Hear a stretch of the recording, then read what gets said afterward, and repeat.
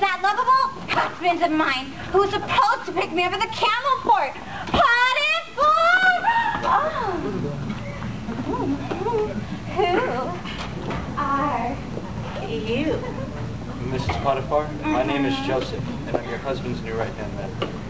Joseph, eh? Ah, yes, Joseph. I've heard so much about you. Strong and handsome. Is so find me desirable. Mrs. Potiphar, I respect your husband, and I can't do this. And sin against God. Wait, come back here!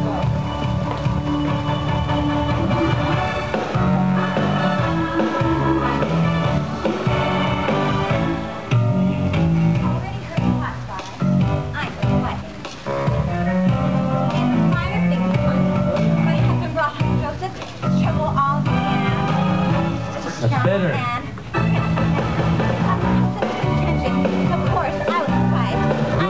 I'm a victim who was never victimized.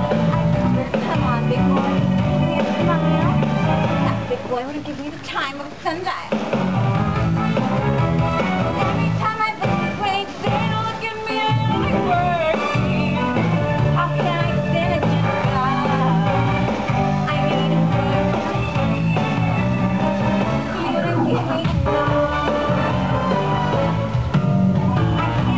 Conscious of the center. so one day, I figured out a way to make Joseph pay.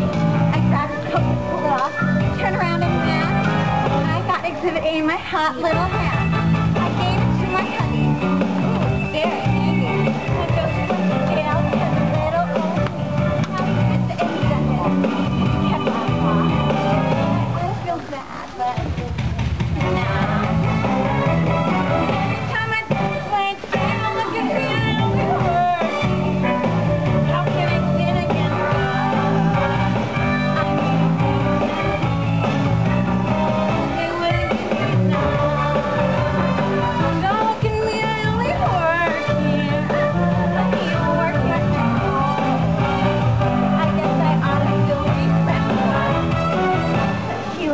Thank